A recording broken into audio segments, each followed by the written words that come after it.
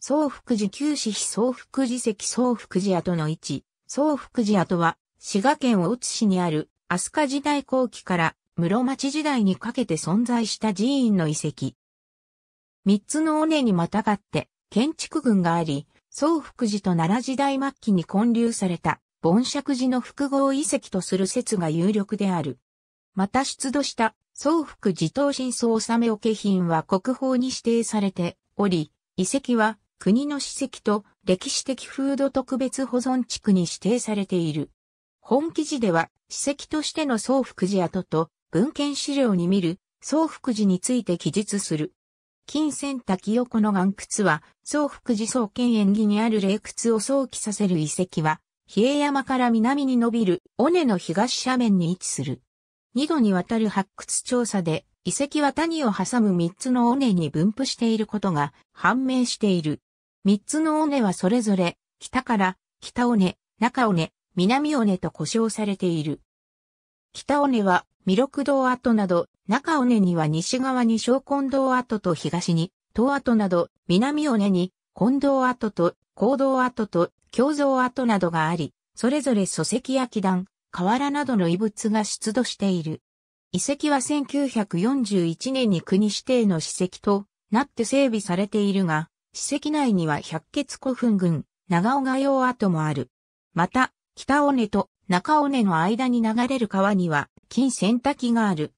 総福寺跡は史跡に指定されてから調査が行われておらず、遺構の全体が把握されているとは言い難い。現在把握されている遺構以外に周辺には人為的に平坦にしたと思われる場所が複数確認されており、土器などが採取されている。南尾根の東方の平地について、肥後和は総合跡と推測したが、詳細は不明である。また地元で、滋賀寺石や、総統と呼ばれている平場もあるが、詳しい調査が行われていない。総福寺跡の調査は、大見大津宮の所在地論争と不可分であった。天智天皇が遷都した宮殿について、今弱物語集には、淡津宮と記載されるなど、遅くとも平安末期には、その所在が不明となっていたが、明治に至ると、天智天皇のいわば成績である、大津宮の所在を明らかにしようという機運が高まっていた。この頃の考古学会では、大津宮はわずか5年で廃されたことや、当時の宮殿が礎石や瓦を用いないことからその痕跡を求めることは困難であり、大津宮から北西の山中にあるとされる総福寺やその近隣にあるとされる盆釈寺から間接的に位置を探ろうとする考えが主流であった。大津宮と総福寺、明治43年に北定吉は大津宮の所在地について郷土史屋であった木村一郎の説を一部取り入れて大津系セント校を発表。地元の伝承をもとに、志賀里山中遺跡を総福寺跡とし、その南東の志賀里の太閤塚、有の内近辺を大津宮とする説を発表した。この説をよりどころとして大正4年に大正天皇の御大典記念事業として地元有志により志賀里山中遺跡の南尾根に総福寺旧式年碑が建設された。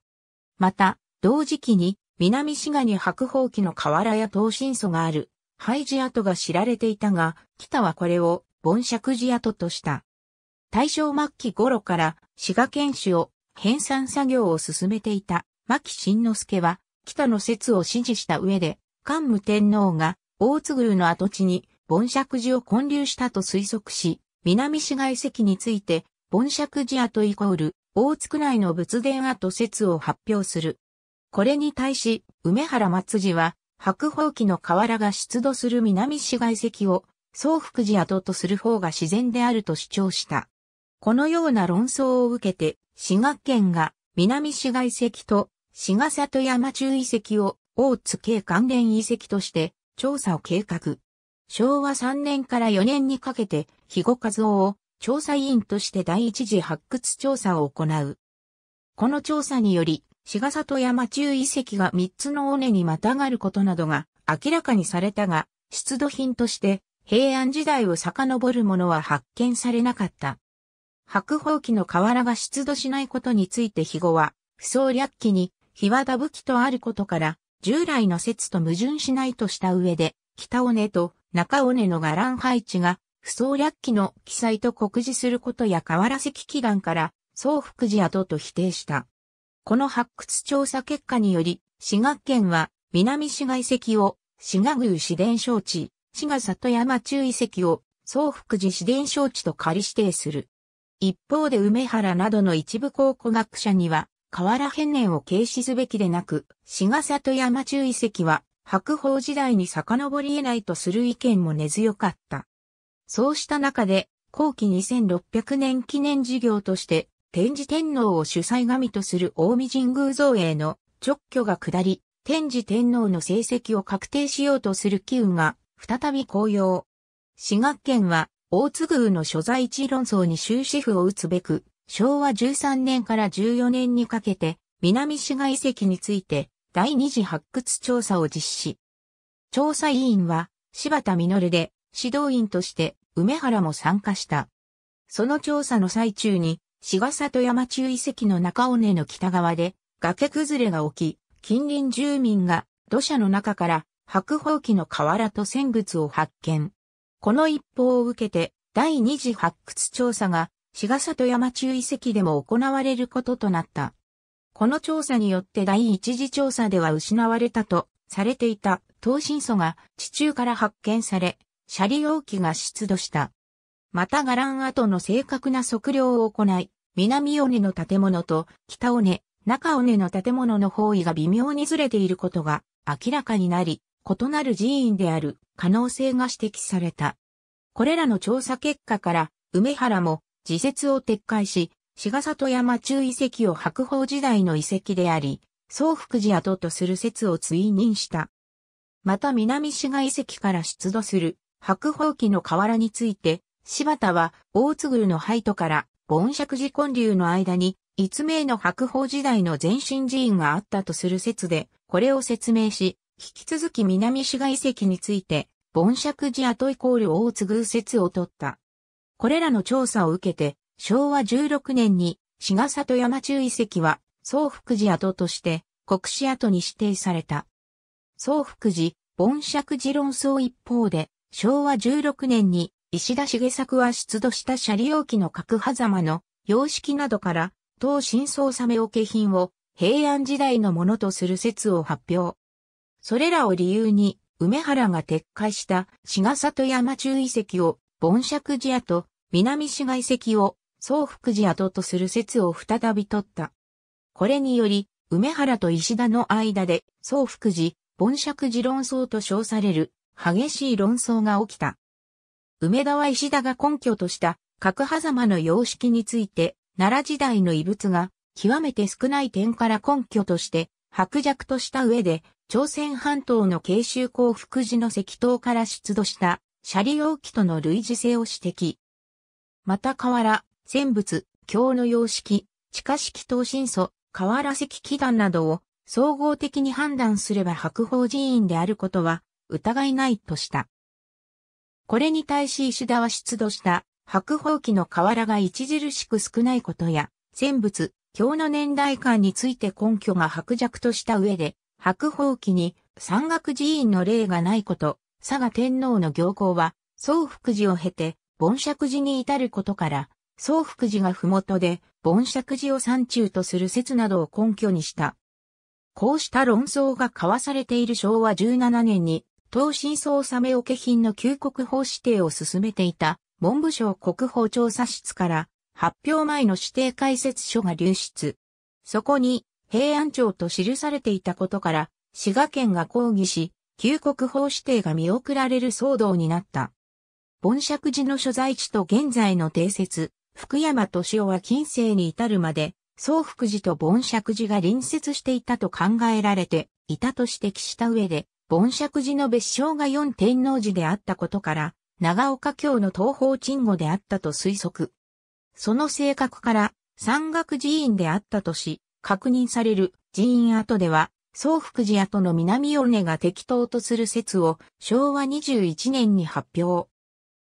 また田中茂久は同時期に、盆釈寺に関連する和歌から山中にあったと推測し、福山の説を支持した。これらにより現在は、総福寺が北尾根と中尾根、盆釈寺が南尾根で、南市街石が一名の白鵬寺院するのが通説となっている。後年に南尾根から出土した線から盆の文字が発見されたことなど、定説を補強する発見もあった。なお、南市街石は昭和32年に南滋賀町廃寺跡として国史跡に指定され、大津宮は大津市錦織の遺跡に否定され、昭和54年に国史跡に指定されている。北尾根、中尾根の建築群の軸は、南北軸に対し東に7度の偏りがあるが、南尾根の建築群の偏りは東に2度であり、異なる寺院であると考えられている。北尾根と中尾根の寺院の伽藍配置について、行動が近道の北東に位置するなど、若干の相違があるものの、おおよそ河原寺式を踏襲しているとされる。北尾根弥勒堂祈願北尾根の建築群は、北西から南東に降り伸びる、尾根の南側斜面を削って設けた40メートル25メートル程度の平場にある。平場の西側に弥勒堂跡とされる河原石祈壇があり、祈壇内に間口5軒、奥行き3軒の礎石が並ぶ。また、祈壇の外側にも、東西南面に2列並ぶ礎石があり、また、さらに南側中央には3軒分の礎石が、荒廃状に並ぶ。祈壇の外に礎石あることについては、後世の増築のためと考えられている。また祈壇外の礎石は、祈壇上の礎石と比べて、最大1.8メートルほど低いものもあり、文献資料にある中尾根に渡る橋であった可能性がある。弥勒堂の東方には、東高線に沿って北東から南西方向に17メートルほどの石垣がある。この石垣は、乱積みで高さ1.2メートルほど。尾根筋を固めるためのものと考えられ、弥勒堂跡の南側にも東西方向に伸ばされていたと考えられている。石垣の北端付近には東西方向に基壇がある。この基壇は3メートルほどの瓦石基壇であるが、瓦を平積みではなく、合掌状に立てて並べられている。礎石などはなく規模は不明だが、文献資料では、弥勒堂の東に坑道があったと記されている。中尾根中尾根北側の二重基壇と基壇中尾根の建築群は南北を谷に挟まれ、東に向かい下がっていく尾根を平坦に削って設けた40メートル18メートル程度の平場にある。東は東跡、西は小根道跡と考えられ、それぞれ礎石と基壇を残す。その二つを囲うように別の基壇が中尾根北側に東西方向に33メートルほど残っているが、同様の基壇が尾根筋を固めるように東側や南側にもあったと考えられている。その基壇は根石から控えて切り石が並べられており、二重基壇と考えられる。基壇は小金堂と塔の中間部分で階段状になっている。塔跡は3軒四方で一辺が約6.2メートル。基壇が残るが、根石はほとんど残っていない。基壇中央の地表から1.2メートル下、岩盤を掘り下げて、等身層を据えている。等身層は、長辺1.8メートル、短辺1.5メートルの自然石だが、上面は平滑に仕上げられて中央に、計52センチメートル、深さ10センチメートル程度の柱座がうがたれている。また、等身層の南側面も平滑に仕上げられ、奥行き21センチメートル、高さ18センチメートルほどのシャリ鋼がうがたれ、石で蓋をされていた。シャリ鋼内部は朱で塗られ、金箔が押されていた。シャリ鋼内からシャリ容器などが出土したが、口述する理由により、出土状況は定かではない。4天柱と側柱の礎石は、計75センチメートルの円柱座が繰り出され、側柱の礎石は、自腹受けもついている。礎石は一部剥落しており、火災の影響と思われる。この塔は、文献資料により、三重塔と考えられている。小根堂跡は間口三軒、奥行き三軒で、周囲に基壇があり一部根石も残されていた。小金堂は東表しており、不総略期に本尊が阿弥陀如来とする記述に合致している。また塔より東には南北方向に並ぶ三つの礎石があり、塔などと軸が揃っていることから関連する施設の跡と思われる。用途は定かではないが、梶原義実は二県四方の首領であった可能性を指摘している。南尾根近藤基団手前の礎石は、行動南尾根の建築群は南北を谷に挟まれ、東に向かい下がっていく尾根を平坦に削った42メートル43メートルほどの平場にある。西側は近藤跡とされ、木団と礎石群が残る。近藤は南向きと思われ、間口五県、奥行島。花崗岩製の礎石は、計75センチメートルの円柱座が繰り出され、そのうち2個には中央にで、がある。また、中央の間口3県奥行き2県には、趣味段があったと思われ、礎石間に、狭間石が置かれている。近藤跡木段南側には一段低い木段が続いており、後輩がついていたと考えられる。近藤の東側には、行動跡と言われる、礎石群が残る。銅は、南向かいで木間口五県、奥行き島でやや低い木段の上にあり、その南側に並ぶ二列の礎石は久しであったと考えられている。行動跡の北側には間口三県、奥行き二県の礎石群があり、これにも低い木段がある。肥後は、共造跡と推測してる。この平場の北西部に別の平場があり、東西島、南北三県の礎石9個が発見されているが、調査は行われていない。また、南尾根の礎石群から東側に降る途中に、平場がある肥後は、総防跡と推測した。表層から瓦や陶器が採取されたが詳しい調査は行われておらず、礎石などの建物跡は不明である。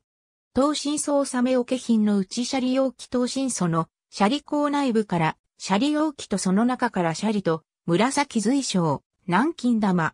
シャリ容器の周囲から鏡などの小言具が出土。奈良時代の考古資料として一括して、昭和19年に重要文化財指定、昭和27年に国宝指定。大見神宮が所有し、京都国立博物館に帰宅されている。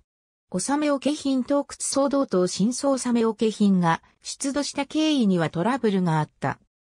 第二次発掘調査において、柴田は遺跡全体を測量する必要性を感じ、測量士の水居梅原に依頼。梅原は測量士 A を推薦した。A はトランシットと平板測量を併用する方法を考古学会に持ち込んだ人物で、京都大学の発掘調査にたびたび従事していた。測量を進めた A は、塔跡の中央に、塔真素がないことに不満を覚え、南市街石の発掘に専念していた柴田に、塔跡中心を掘ることを申し出て、柴田もこれを認めた。一方で A は、測量に向かったきり一週間も下宿先に戻らなくなり、これを不審に思った梅原は、大学院生を状況確認のために向かわせたところ、A が地元住民と共に、東新層、地中から発見したところであった。報告を受けた梅原は、翌日に柴田に連絡するが繋がらず、そうしている間に、A らは、車両機を取り出してしまった。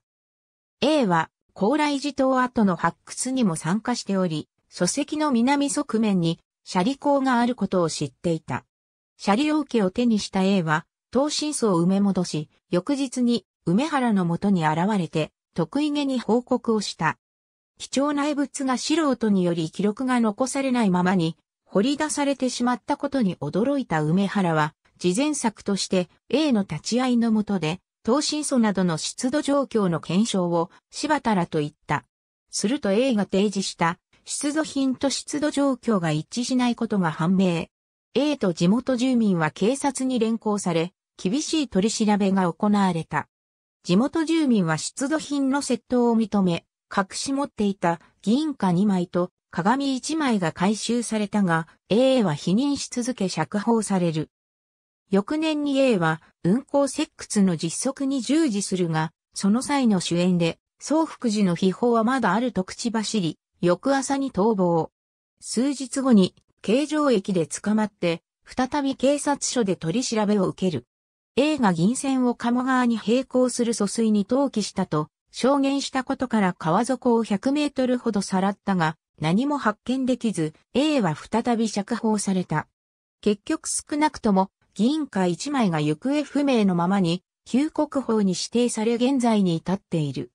なお、東進層の柱座の周囲には、クリーシの残骸があり新柱の中脚を支えていたと考えられるが、これも破壊されて、詳細は不明である。納め桶品と制作年代出土した納め桶品は、洞窟や再納め置の痕跡がなく、塔の創建と同時に収められたものと考えられ、その制作年代から塔の創建時期について考察されている。シャリ容器は三重入れ子状の箱の中に瑠璃シャリ瓶を収めた余容器となっている。外箱は青銅製で鋳造で鍍金されている。箱と蓋は別いで被せ蓋になっており、前後に留め具があり留め釘を差し込んで留めている。寸法は長寸10センチメートル、単寸7.4センチメートル、高さ7.6センチメートルで、角狭間を各面に2つずつ設けた足がついている。この角狭間の形状について、石田は平安初期の様相とした上で、盆尺自説の根拠とした。中箱は銀板製で、蓋は一枚板の打ち出しで、箱は一枚板を曲げて箱側面を作りそこに別板を貼っている。蓋は陰漏外で前後に留め具があり、帽子をあしらった留め釘を差し込んで留めている。寸法は長寸8センチメートル、単寸5.6センチメートル、高さ4センチメートルで、全体的に丸みを帯びた形状となっている。内箱は金板製で、形や製作法は中箱に類似する。寸法は長寸6.2センチメートル、単寸4.3センチメートル、高さ3.4センチメートル。内部にはシャリ瓶を安置するための受け座が秒止めされている。受け座は花形で8弁、花弁は花形の透かしと点線彫りで縁取りされている。点線彫りによる縁取りは、沖ノ島出土品や法隆寺旧世、観音像に見られ、古墳時代から飛鳥白鳳時代の特徴とされる。ルリビンは、計3センチメートル高3センチメートル合計1.8センチメートルで能力色。公園に金箔が押されて、金の蓋が被せられていた。元来は、シャリ瓶内にあったと思われるシャリは、出土した時に瓶が倒れたようで内箱の中から見つかった。シャリは水晶で 1mm 以下の粒が3つであった。外箱と中箱の間には石膏状の泥で満たされており、紫水晶2個、穴の開いた南京玉14個が発見された。泥は高泥と思われる。シャリ箱の外側からは銀線12枚が出土。銀線は不本線以前に流通していたとも言われる無門銀線でシャリ箱の足に癒着していた。計3センチメートル10、10グラム程度で10枚に穴がうがたれていたほか、2枚には、電、地上の刻印がある。共犯する鉄橋は、計7センチメートル、厚0.3センチメートルで、背面に、混同板を貼り付け銀の円で留め付けている。背面は、唐草模様で地を魚小打を施し、中央の中座は八弁の花形が透かし彫りになっている。これに似る鏡は、奈良県松山古墳から出土している。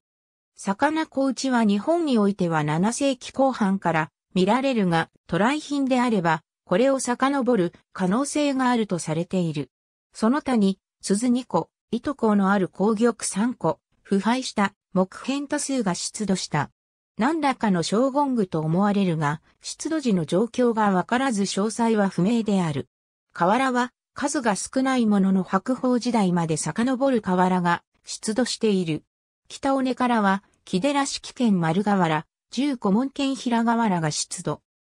中尾根からは川原寺式県丸瓦と、野戦文営福弁八葉蓮華文県丸瓦、十古門県平瓦、鬼瓦も出土している。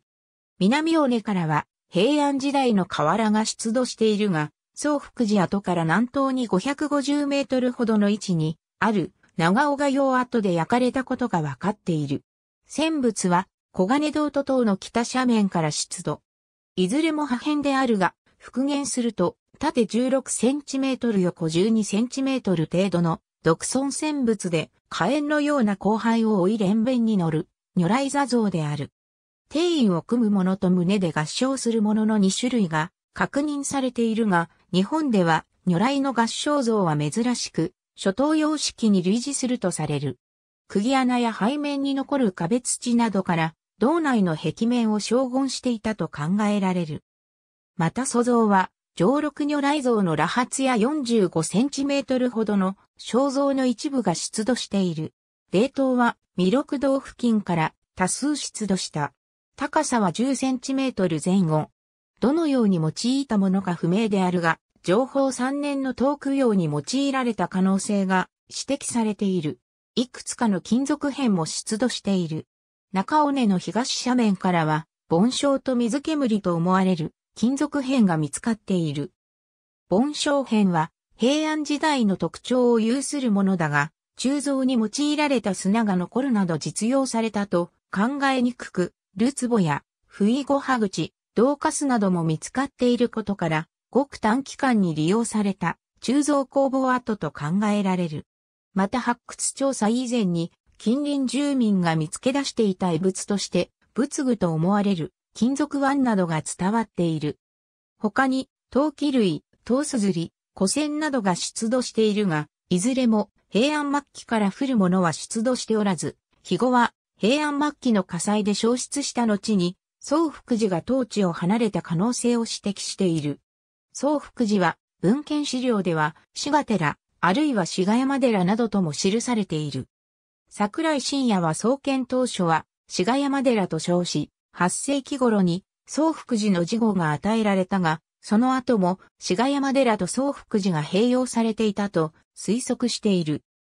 不総略記には、天智天皇6年2月に、天智天皇の夢に奉仕が現れて、宮の北西の山中に霊窟があるので外に出て、見るようにと言って消えた。起きてその方角を見ると山中が輝いており、翌日に人をやると夢の通りに霊窟が見つかった。そこで、天智天皇は、翌年1月に寺院を創建したとの演技が記されている。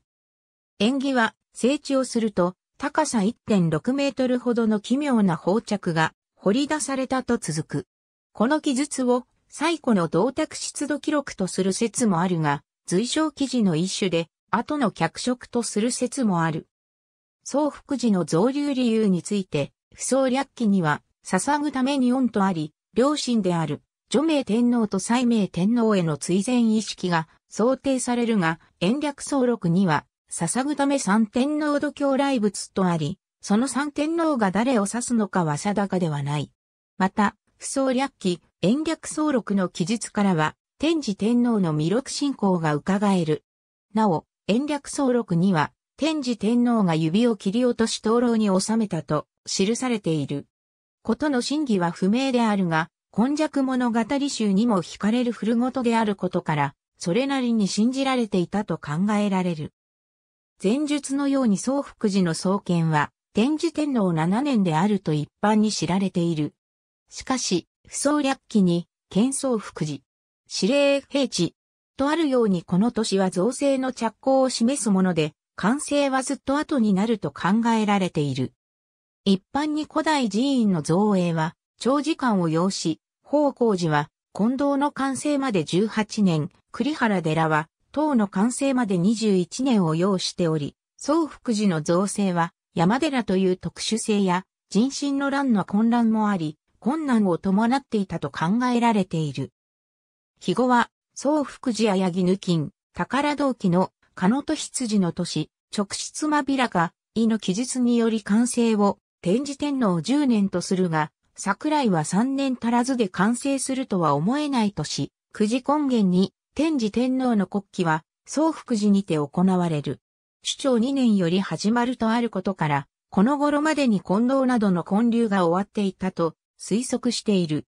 また、持統天皇3年に逝去した草壁巫女の追善法営が行われた可能性や、口述する推測などにより、持統天皇が父天智天皇の直眼寺である、宗福寺を庇護したという説がある。その後、俗日本記によると、大宝元年に、大見市和歌山寺風、気候四年経営満30年と定められる。大法録例では、テラフーは5年とするのと比べて、例外的な優遇処置を受けたと言える。こうした厚遇について、桜井は同時期に山品領の造営や天智天皇の命日を国旗に定めたことと合わせて、天智天皇の追善意識を高揚する目的があったと推測している。その寺風の満了前である天平元年には紫号山寺社入り漢字の例とあり、漢字として朝廷の庇護を引き続き受けたと考えられる。天行5年の宗福寺最高の折に、宗福寺別当を務めた大宗上名村が後に、恩城寺調理になったことを宣弁に、恩城寺の構想が、宗福寺別当に補えされる記録が散見され、この頃から恩城寺の関係性が強くなったことが伺える。上官元年には、延暦寺と恩城寺の構想に巻き込まれて、宗福寺盆釈寺も類称する記録がある。これも含めて、創建から平安末期に至るまでに5回の理祭が記録されており、再興もされたようだが、これにより宗福寺は荒廃していったと考えられる。管理2年の直により宗福寺は、恩城寺の中北両院に付属させられた。この頃、中北両院は、恩城寺南院と激しく争って、互いの道具を焼き討ちするなどして荒廃しており、宗福寺を中北両院に付属させたのは、その復興のためであったと考えられる。また、鎌倉末期成立の延暦寺五国演技には、宗福寺の王子の面影はその後になくとあり、この頃までに、宗福寺は、宗福寺跡から場所を移していたと考えられる。永和3年の文書に、保祥寺の最高を助成する目的で、毎年両足を収める寺院の中に、宗福寺の名が見える。他の寺院と比べて、多いことから、ある程度の寺勢を保っていたと思われる。また最強寺に伝わる、刀八毘沙門左衛門の奥書きに、干渉5年に、宗福寺で書写したと書かれており、この頃まで宝刀を保っていたことが確認できる。その所在地について、文献資料には、大津宮の北西の長良山で、滋賀の山越えの途中などと記される。長良山は、大津宮から南西の方角にあり、矛盾があるが、9世紀頃には、大津宮は会わずにあったと考えられていたことからの錯誤だと考えられている。